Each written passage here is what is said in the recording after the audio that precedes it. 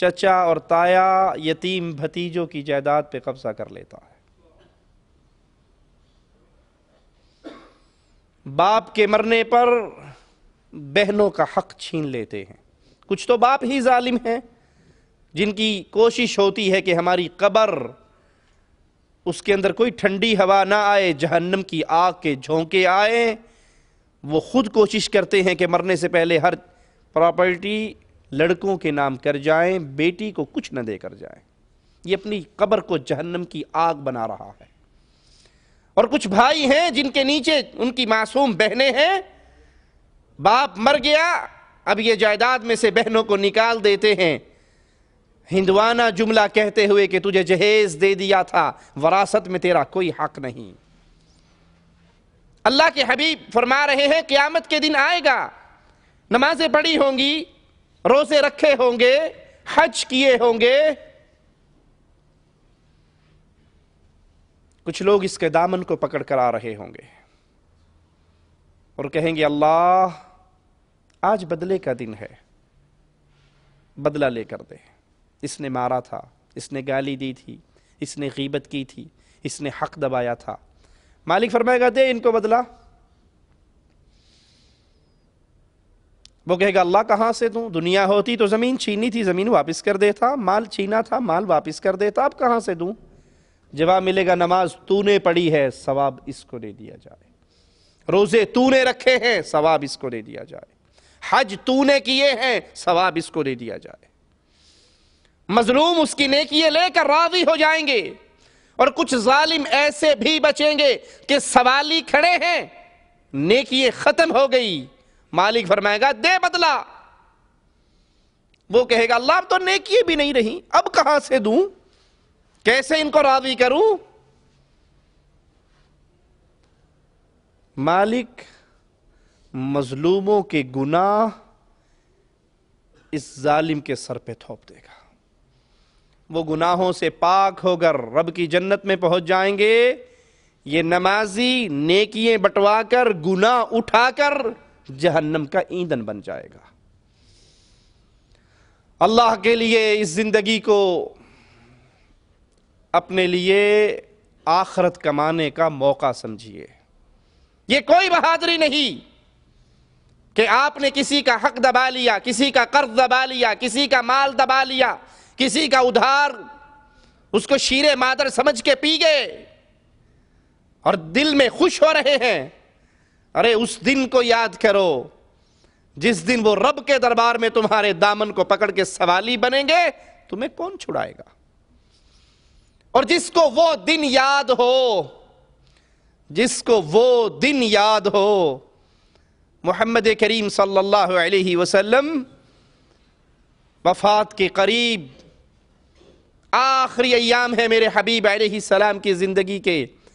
مسجد میں آ کر بیٹھتے ہیں اور پوچھتے ہیں اگر کسی نے مجھ سے کوئی حق لینا ہے تو لے لے، قیامت کے دن مجھ سے نہ پوچھے۔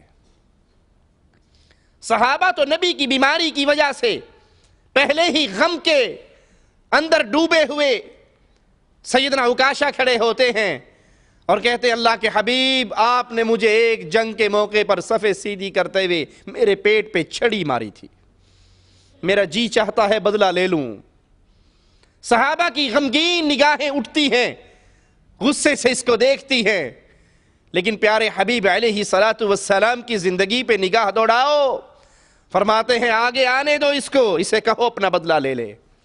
کہتے ہیں، آقا، آپ کے ہاتھ میں لاٹھی تھی، میرا ہاتھ خالی ہے۔ کہا، اس کو چھڑی دے دی جائے۔ آقا، آپ کے بطن مبارک پر کپڑا ہے، میرا پیٹ ننگا تھا۔ مصطفیٰ علیہ والسلام اس حال میں بھی اپنے پیارے بطن کو ننگا کر لیتے ہیں اور اسے کہتے ہیں، آگے بڑھ اور آ کر بدلہ لے لے۔ سیدنا علی کھڑے ہو کر کہتے ہیں، میری گردن محمد کی گردن کے بدلے میں قربان ہونے کو حاضر ہے۔ بدلہ لینے والے مصطفیٰ سے نہ لے، علی سے لے لے۔ آقا فرماتے ہیں، نہیں علی، آج اس کو محمد کریم سے بدلہ لینے دو۔ یہ آگے بڑھتے ہیں۔ صحابہ کی غمگین نگاہیں اس کو دیکھ رہی ہیں اور مصطفیٰ کے قریب آ کر لاٹھی کو پھینک دیتے ہیں۔ آقا کے بطن سے چمٹ جاتے ہیں۔ کہتے ہیں، مصطفیٰ، علیہ السلام ارادہ گستاخی کا نہیں تھا۔ جی چاہتا تھا۔ آخری لمحات میں اپنے اس چہرے کو آپ کے پیارے بطن پہ رکھ دوں۔ ہو سکتا ہے کہ اللہ اسی سے میرے چہرے کو جہنم سے بچا دے۔ لیکن نبی کریم سے افضل کون ہوگا؟ مصطفیٰ سے پیارا کون ہوگا؟ آقا علیہ السلام سے عظیم نہ کوئی پیدا ہوا، نہ پیدا ہو سکتا ہے، نہ پیدا ہوگا۔ وہ بھی اپنے آپ کو پیش کرتے ہیں اگر کسی کا حق ہے۔ میں اپنے آپ کو پیش کر رہا ہوں، مجھ سے اپنا حق لے لو۔ اگر کسی کے دامن پر کسی کی عزت کے، کسی کی مال کے، کسی کی جان کے کوئی چھینٹے ہیں اس گھڑی کی آنے سے پہلے پہلے اپنے دامن کو صاف کروا لو۔ یہ کبیرہ گناہ، ان کا معاملہ اللہ کی اللہ کی ذات پر ہے، اللہ چاہے۔ ان کو معاف کر دے اور چاہے ان گناہوں کی وجہ سے ان کو جہنم میں ڈال دے۔ لیکن اہل کبائر، کبیرہ گناہ کرنے والے ہمیشہ کے جہنمی نہیں ہوں گے۔ ضرور اپنے گناہوں کی سزا بھگت کے اللہ کی جنت میں داخل ہوں گے۔ مواحد گناہوں کی وجہ سے جہنم میں اگر جائے گا تو صدا جہنمی نہیں رہے گا۔ مشرق صدا جہنمی رہے گا، وہ اپنی نیکیوں کی وجہ سے کبھی جنت کی خوشبو نہیں پا سکے گا۔ اچھے کاموں کی وجہ سے کبھی جنت کے ہواؤں کی ٹھنڈے جھونکوں کو نہیں محسوس کر سکے گا۔ اگرچہ وہ نیک ہو گناہوں سے دامن کو بچاتا ہو اور شرک اکبر کرتا ہو، وہ ہمیشہ کا جہنمی ہے۔ اور مواحد، اگر گناہ کبیرہ کا ارتکاب بھی کر بیٹھے، وہ ہمیشہ کا جہنمی نہیں، ضرور اللہ کی رحمت سے وہ جہنم سے نکل کے جنت میں داخل ہوگا۔ لیکن لوگوں شیطان کے اس بہکاوے میں نہ آنا کہ گناہ کبیرہ کا ارتکاب کرنے والا بالآخر جنت میں چلا تو جائے گا۔ جہنم کی آگ میں اگر کسی کو ایک لمحے کے لیے ڈال دیا گیا، اس کا کیا بنے گا؟ حدیث میں آتا ہے ایک شخص کو جہنم کا غوطہ دیا جائے گا۔ پھر اس سے پوچھا جائے گا جس نے دنیا میں کبھی کوئی دکھ نہ دیکھا تھا، سکھوں میں پلا ہوا، آرام میں پلا ہوا، اس سے پوچھا جائے گا، دنیا کا کوئی اچھا موقع تجھے یاد ہے؟ دنیا کی زندگی کی کوئی پیاری یاد تجھے یاد ہے؟ وہ کہے گا جہنم کا ایک غوطہ کھا کر کے میں ساری زندگی ایسے ہی گزار کر آیا ہوں۔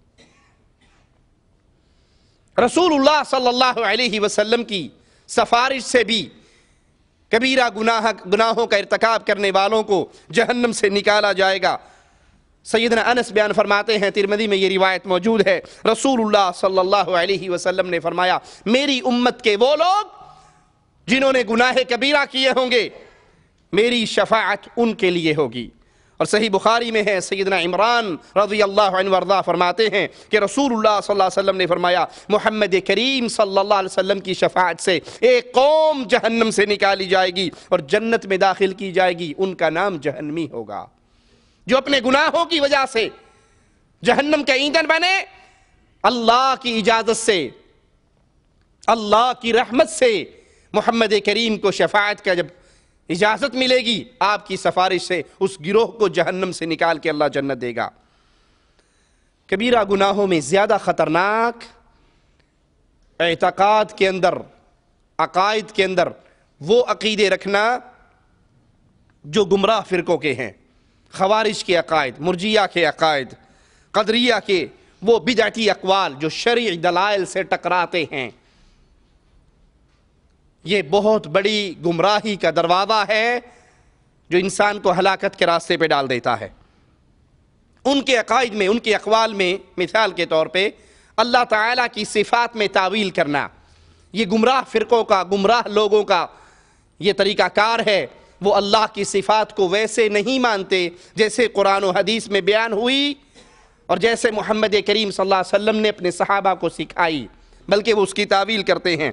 مالک فرماتا ہے، وَلِلَّهِ الْأَسْمَاءُ الْحُسْنَى فَدْعُوهُ بِهَا۔ اللہ کے پیارے پیارے نام ہیں، ان ناموں سے اللہ کو پکارو۔ وَذَرُ الَّذِينَ يُلْحِدُونَ فِي أَسْمَائِهِ سَيُزَّوْنَ مَا كَانُوا يَعْمَلُونَ۔